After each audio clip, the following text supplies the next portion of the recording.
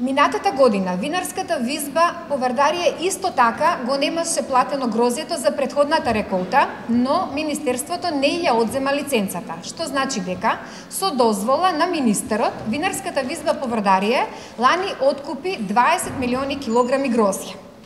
Затоа сега бараме од владата да ги обештети лозарите, да им го плати грозјето, бидејќи лани, кршејќи го законот за откуп на земјоделски производи, дозволи винарската визба Повардарие да земе без пари 20 милиони килограми грозје.